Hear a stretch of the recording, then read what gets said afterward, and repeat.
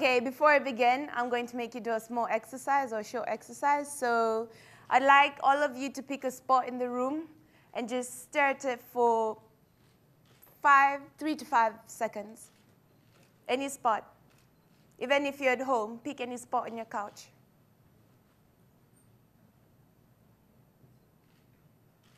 Okay, now continue looking at that spot and blink while you're doing it for about five to 10 seconds. Just as you normally would, be comfortable. And now, finally, I would like to ask you to close your eyes and try and recreate that image that you formed in your head for about two to three seconds.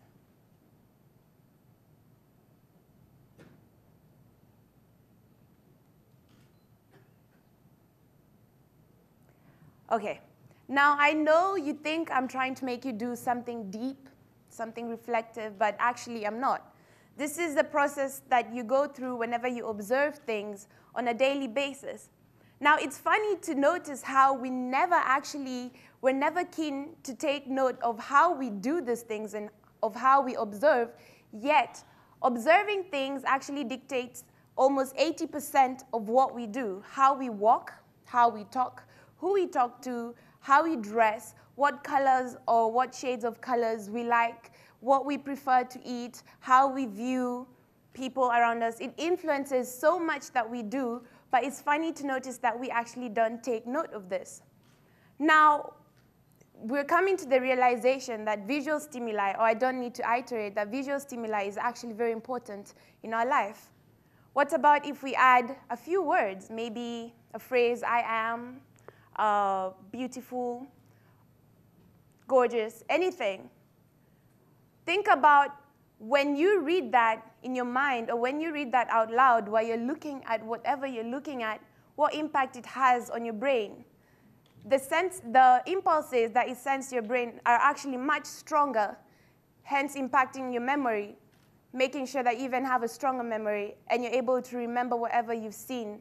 And it will come out, it might influence whatever you do in five seconds, in the next few minutes, or in few years, or it might come to your mind as a thought, a dream, fantasy, anything. Ever wonder why advertising commercials have both pictures and words? That's how you always get to buy the same product, even though you don't like it, you buy over and over again. That's how they convince you. I come from one of the most peaceful countries in Africa, actually in the world. Kenya is the garden spot of Africa, arguably, but we are. It's the truth. However, in 2007, we proved the world wrong. And we went into a period of slaughtering each other based on ethnic differences. Now, this occurred after irregularities in the election results that took place on De December 31st. And we went on a period of 58 days where we had um, a post-election violence that was characterized by people killing each other based on ethnic differences. And over 1,300 lives were lost and over 600,000 people were internally displaced in Kenya. Now, during this period, I was unfortunate to actually stare death at its face. Three men decided that my life was worth taking due to the complexion of my skin, which is much fairer than that of many Kenyans, and is usually associated with that of members of a different, of different, of a different tribe. To them, they were convinced I was from the enemy tribe, and they even gave me a name from the quote unquote enemy tribe. Now, I could feel the hatred of these three men rage through me, but I, I wasn't angry at them. I was very sorry for them. I felt sorry for them. And I could not understand why you'd want to take away my life based on something I could not control, based on my physical appearance. I could not understand why you'd want to take away my life, not because of my character, but because of my physical appearance. Luckily, I was able to escape from that situation. I was able to buy my way out, and where the words came out for me to negotiate my way out, I, I honestly cannot explain that. But luckily, I was able to get out of that situation without any scratch, without any bruise, and alive and breathing. However, my faith in humanity had been lost and shattered. In 2012, as I was studying at the African Leadership Academy in South Africa, I began to receive um, tips on my Facebook, and also I was reading so many political analysis that was speculating that Kenya would actually go into another period of violence, like the violence experienced in 2007 in our upcoming elections in 2013 that just passed a few weeks ago. Now, in my mind, I was blown away because I knew that we could not go back there as a country, and I was shaken, and I knew that I had to do something. Now, in the beginning, we realized that the power observation is very influential. However, we're not keen to notice how it influences the actions that we do. And I thought to myself, because I was very keen to notice how this, this tool that we use in our daily activities influences me, I thought to myself, how about we try and use this tool for positivity? Because it's something that we all do regardless of our disability. We do it in one way or another. Hence, it unites all of us. This is a uniting platform, so why don't we use it to impact positive change? How do we channel this energy that we know that exists, but we can't quantify it, to impact positive change? How do we, how are we able to contain our observations and share them with the world? How, should we use technology, photography, you know, social media? And so with that in my mind, and me being a very hard-headed person, I did not think about it. And I just started calling on people on Facebook from all over the world to take a picture of themselves saying that they're Kenyan. Now, this picture was to stand up for peace in a part of the country, I mean, in a part of the world, because I believe in I believe that we're all human beings before we're citizens of our different countries. And I believe that as citizens of the world, if one part of the world is ailing, we have to all reach out to that part, pick it up, and move on forward together. And so, regardless of whatever nationality you are from, regardless of how you look, whether you're fat, skinny, short, tall, it doesn't matter. We called, I, called up on, I called on to you to take a picture of yourself saying you're Kenyan with the words, I am Kenyan. And in four days, we had reached, we had an outreach of over 4,000 people. We had collected 85 photos from over 20 countries, and we had reached people with um, about from over 20 different languages who had taken their pictures and sent in their pictures and made them their profile pictures and cover photos saying that they're Kenyan. We had photos from Kenya, from Rwanda, from Mauritius, Senegal, the US. We had photos from the US. Um, that's from Portugal. People became more and more creative. Um, that's from India.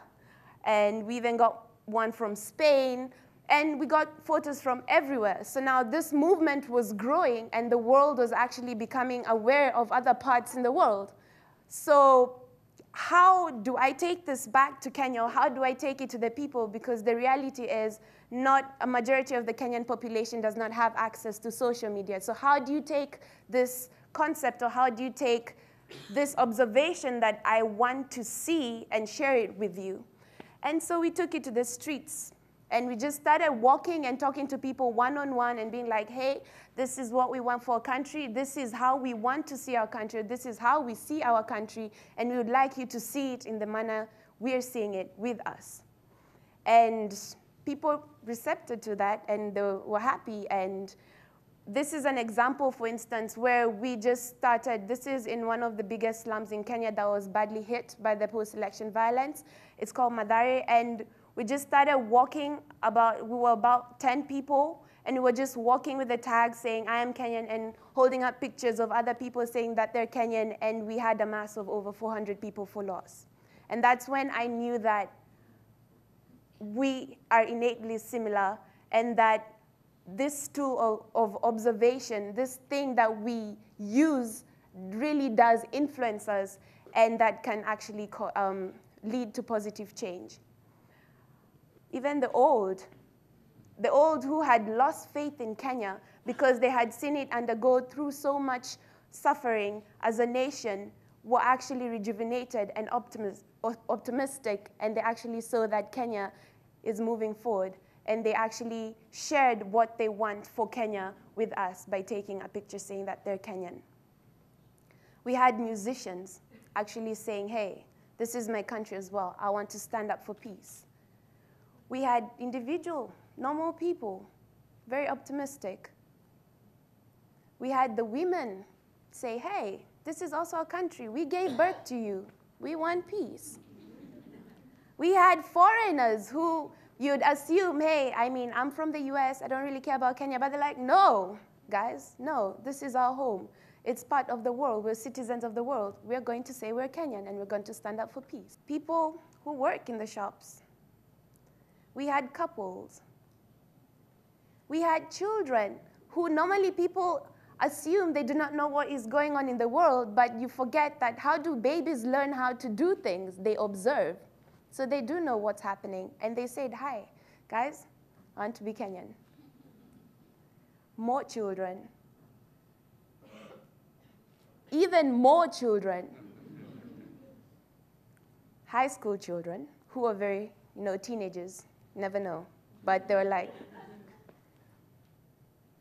and politicians. This is our former vice president, and to him, he was like, I love my country as much as you love your country, and I will actually show Kenyans that I'm ready to identify myself as a Kenyan first before identifying myself, identifying myself based on ethnic terms and differences. This was also, an, um, he was a running, he was running for a presidential seat in the elections, but regardless of that, he didn't care about his political position. He cared about the, his country first. And this is the former police spokesman who also, who also stood up for peace. And this is the most touching story to me because this is a group of um, street children, and most often than not, people ignore them and people assume that they do not have a voice in our country. However, they reached out to us and they're like, we want to also stand up for peace. And with our help, what we did is we painted their faces with the colors of the flag and wrote the words peace on their forehead. And silently, without disturbing anyone, Nairobi traffic is as bad as traffic in New York and we just walked within the traffic and we didn't talk to anyone and that sent a positive, a strong message to the extent that media houses actually rushed to the scene, but we weren't trying to cause that. But I thought that was very touching that they actually did approach us and say, hey guys, we actually also want to um, proclaim, show our voice. And companies as well, corporates said, this is our country as well, we're affected and we also want to stand up for peace. And in eight months, we had a, um, an outreach on Facebook of over 2 million, but a global outreach of over 4 million because um, when you combine the statistics from our website and everything, and we had collected, and we have, and are still collecting, last time I checked, we had about 21,875 photos from all over the world. And this is also one of the ways in which I also knew how positive this tool is in the sense that Wycliffe Ulech was told us that thank you for giving me the feeling of being a Kenyan citizen, thus giving me the confidence to participate in both communal and national activities such as voting through your photo peace campaigns. And Zoe Fender from Ukraine was like, before the project, I knew nothing about Kenya. However, after seeing the movement, I was probed to research on Kenya and its history. I am now proud to say that I am Kenyan and I stand for peace. And with this, we're able to move from this to this because I am proud to say that Kenya just underwent its elections a week ago and it's peaceful and this has been the most democratic elections we've ever experienced in my country with a voter turnout of 88%, which is the highest turnout that has ever been seen in Africa.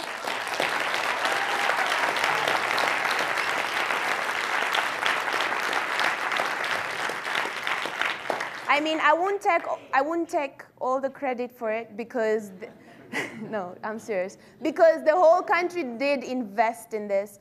But I would like to say that I'm very proud, and I'm a very proud Kenyan. And at the end of the day, we are all Kenyan. Thank you.